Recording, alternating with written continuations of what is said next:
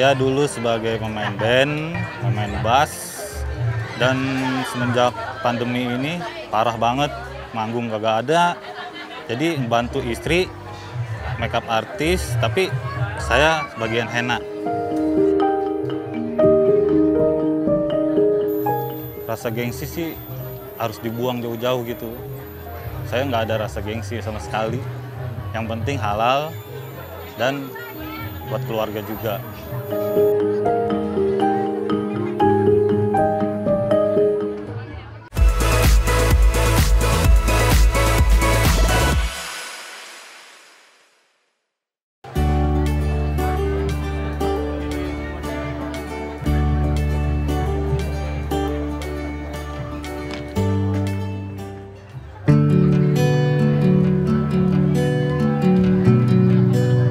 Saya dulu sebagai pemain band, pemain bass, dan semenjak pandemi ini parah banget, manggung kagak ada. Jadi bantu istri, makeup artis, tapi saya sebagian henna.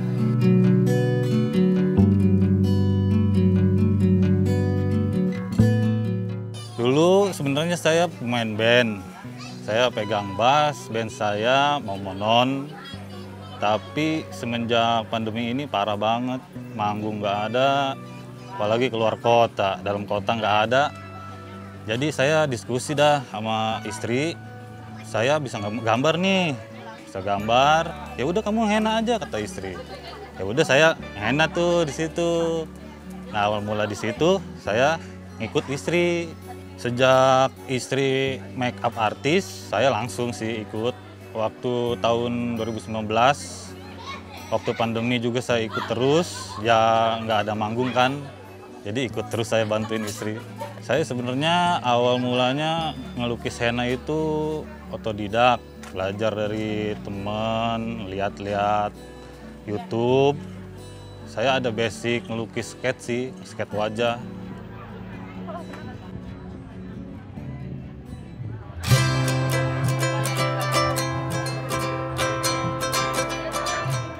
suami saya tapi nggak make up. Awal-awalnya hanya menghena, menghena pengantin perempuan.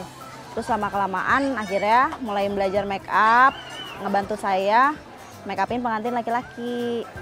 Kalau saya sih sebenarnya kan mulai dari 2019 pas pandemi itu emang baru banget mulain. Jadi saya nggak ngalamin tuh pas sebelum pandemi rame atau pas pandemi sepi. Jadi emang kita beranjak tuh pas dari 2019 akhir ke 2000 baru mulain usaha ternyata ada pandemi.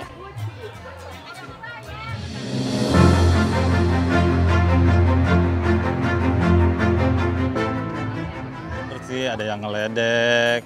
Kok lu bisa henna sih? Gue baru tahu kalau bener dah udah ledekannya tapi saya dianggap ya itu mau bercanda. Cuman mereka juga salut buat ya gimbal, bisa henna, bisa ke mana-mana.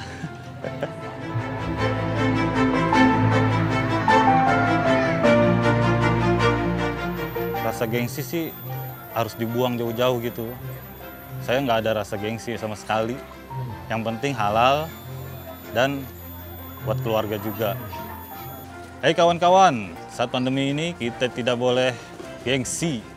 Keluarkan kreativitasmu, dapat penghasilan, dan berani berubah.